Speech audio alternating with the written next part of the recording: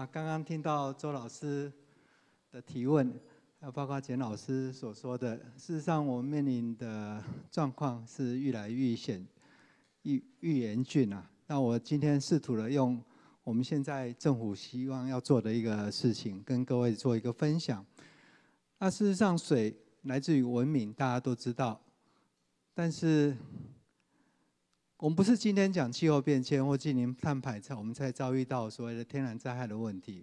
各位都理解，在我们生存的这个国家里面，啊，不管是过去一二十年来，甚至是居住在台北市的市民，都能体会到二零零一年的时候，那时候那莉台风对台北市有多么大的这个影响。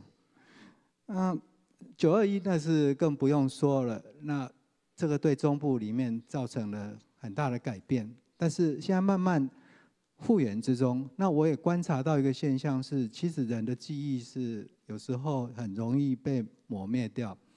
当这些灾害不再来临的时候，或者是说我们经历过了之后，我们容易啊把过去的经验甚至是遗忘，甚至会觉得说，简而言之，我讲的是过去有发生灾害的地方。那现在没有灾害了，大家都误以为说，那我从此之后可以啊，就是安居乐业，好好过日子。事实上并不是如此。啊，科学家一直跟我们讲，刚刚风险很高。啊，世界经济论坛在近十年来都是把天然灾害的风险列为最高。刚刚周老师也有提到，那这是我们水水的领域人呃一直关注的议题，但是。我们假设一个情形是一点五度 C，但是我跟各位讲，对我们做工程师、做防灾的人来讲，我不会去用那个情境来做我未来国家水利建设的规划。我会考虑到可能是增温到两度 C 的时候，状况是怎么样？那情形是跟我们的分析是未来可能没有冬天啦，然后未来高温的时候可能很日子很长。那最近啊。今天像南部才下一场雨，那前一次的大雨是什么时候？六百多天之前。那未来这个状况可能是一个 new average。那我们的下一代怎么办？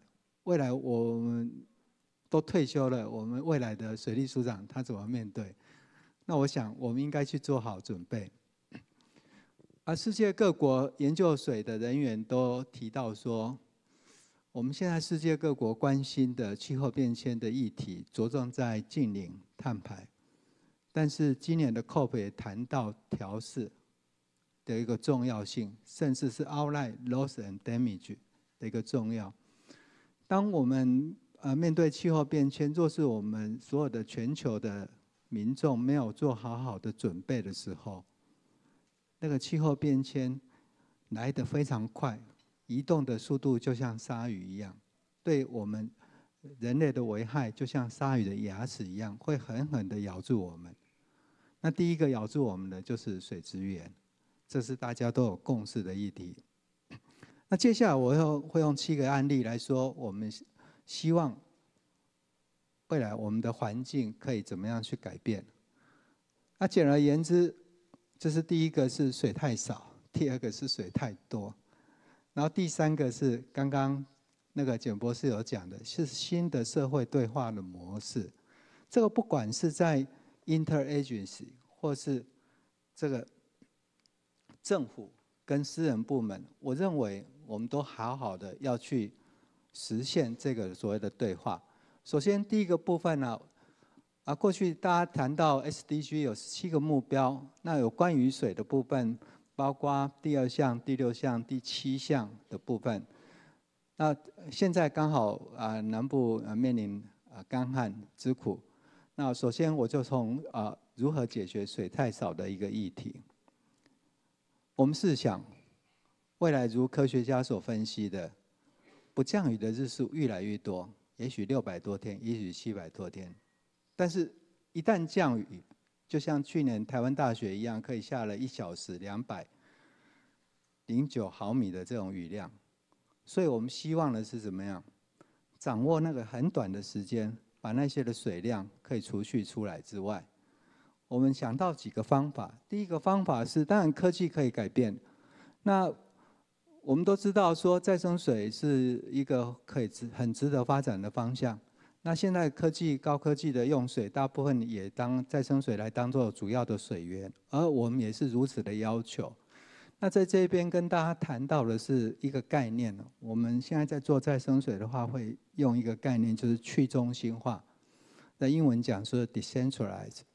那过去巴黎污水处理厂就是收集了全台北市所有的污水，混在那一边去。那混到那边去的话，你到未来的用水端的话，你要需要很长的管路，需要很多的能量，甚至在处理的时候，需要很多的技术去克服。那除此之外，我们一直在试想一个事情：若是未来啊梅雨也不来，台风也不来，就像过去三年一样没有台风的话，那我们台湾如何自处？啊，跟各位说明的一个事情是，台湾四面环海。可是我们很少认真的去思考说使用海水淡化厂的一个必要性，但各位也许可以挑战我说使用海水淡化是可以使会使用很多的能源。那在这边我跟各位说明，依照台电公司的分析，我们的用电的负载的尖峰在夏天四千多万啊千瓦的这个电，但是我们极度的发展绿电的同时啊，在我们冬天啊负载。降到不到三千万吨的时候，这三千万千瓦的时候，这多余的电我们怎么用？过去大家都想到储能的方式，就是日月潭那种上下式的储能。我们现在提出了一个是跨域、跨介质的一个储能。换句话说，在我们冬天，我们不要再依赖水库来放水来供水，那冬天我们就利用我们剩余的这个绿能来做发电。那夏天的话，尽量少把用水库的水。啊，经过我的计算，啊，即便说我们把新竹的海水淡化厂盖起来，透过这种模式的话，我还可以让我的石门水库一年多花了六百多万度的电。那这个方法，我相信可以克服我们在海水淡化厂操作。那过去大家在设计海水淡化厂的时候，就是一年三百六十五天全时全日的操作。那未来我们的想象是这样子，而且这个也是落落入我们的计划。我们夏天就是做基本的墨的处理或是维护的工作，不产水。那冬天的时候就尽量来产水，这是我们的想法。那另外一个部分，呃，跟大家说明，农业很重要，我们很重视粮食、能源跟水一样的重要。但是各位有没有试想过，我们国家的粮食自给率虽然不高？但是这一些都是主要是来自于黄豆、小麦、玉米，但是我们却是在最缺水的时候灌溉我们生产很过剩的所谓的稻米。那这种的逻辑，我们是不是需要去做一个改变？是不是有没有可能跟日本一样，我们发展精致的稻米，而我们的水稻田不要需要那么多的水？那第一个工作就是希望我们现在的水稻田发展旱作的部分，而我们的水稻田的灌溉效率可以更高。我跟各位说明一个数据，现在我们南部在江南平原灌区啊，每公顷灌溉的水量不到一万吨，但是在我们中部、北部的话，远超过两万吨的这个水量。那这个势必要改变。那改变的方法啊，刚刚陈老师有提到说，这个未来是人口老化。那我们看到我们过去的做啊节水灌溉的这些涨水工、管理水门的。那未来他可能现在都已经是六七十岁了，那等到我未来八十岁的时候，台湾的人口已经降到少于两千万人，那未来的水利市场怎么去做管这个管理？所以我们跟台积电去做一个合作，他们来发展所谓的利用啊太阳能，然后用很小的高功率的所谓的这个水门的马达去做一个水门的操作，它可以把比人工的。呃，作业的省水的方式在提升，起码有五个 percent 左右。那这五个 percent，大家不要以为说它太少。我们夜间减压供水的话，我们能省水的整个城市也只有五个 percent 左右。若是我们这可以落实这个状况，我相信对我们解决水是大有助益。而这个工作现在已经在我们的江南平原已经在实现。我们今年的话，可能还要超过将近啊一千公顷左右，是属于用这种方式来操作。呃，水很珍贵，各位打开水龙头流出了每一滴水，他都跑了一百公里来见你。但是啊，我们对这个水却是不是很珍惜？各位试想，若是你的朋友跑了一百公里来见你，你会不会说随便跟他说啊，拜拜，下次见？但是我们现在用水的态度就是如此啊。那我们的政府的部门，我们加紧去做这些珍贵的水资源，是不是不要漏？那不要漏，当然有不要漏的方法。我们现在有三个城市的漏水率低于百分之十哦，但是我们期待我们到民国一百二十年的时候，漏水率还要再更全国要降到百分之十。那这个是持续要做的，这个就好像我们在做水库清淤一样。过去大家都不做水库清淤，然后过去。啊，认为说这一些捡漏水库清淤的工作不重要，但是我把它打，比如说我们的家务事，我们要是一一天不干家务事的话，一天可能没有感觉，但是一个礼拜不做的话，家里面就一团乱。但是做家务事重不重要？你有做的话，你感觉不到它的存在。但是我跟各位讲，这个事情必然是要做的。那接下来是谈到说水的能源的利用最大化。当然，我们现在啊发展了小水力发电，我们看到很多的原住民的社区，或是我们偏远的的的地方，还可以去来做这个事情。政府正从法规面去开始去做，进行一些松绑。那水域的太阳能啊，跟灌场的水利，其实它使用的地点可能是有一个极限。那即便小水利的话，可能也有一些极限。但是我们承认，说我们现在的努力还是有很大的这个空间。可以去追赶，是为什么？是大家认为说现在的小水利的这个一本比不够高啊？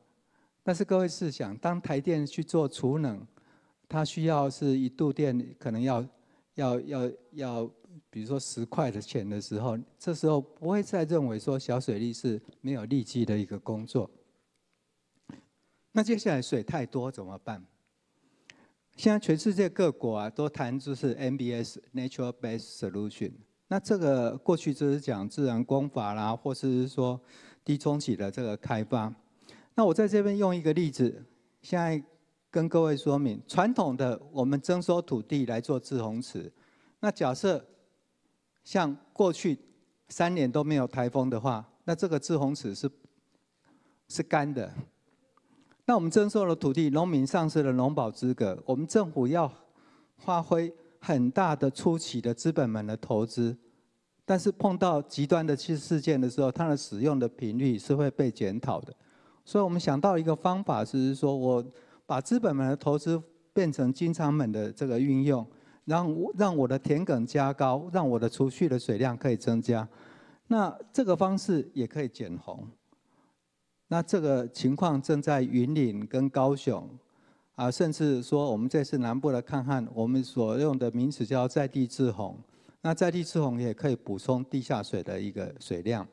那另外一个部分呢，就是我们过去在做治水的时候，只考虑到功能性的部分，但是少虑到所谓的跟自然调和。那清水的环境固然重要。但是工程结构的使用啊，它需要更多的碳、更多的能源，它的维护管理的成本更高。我再讲一次，我在八十岁的时候，我是一九六八年出生的。当我八十岁的时候，台湾人口变成少于两千万人，我都在试想这个情境怎么去处理。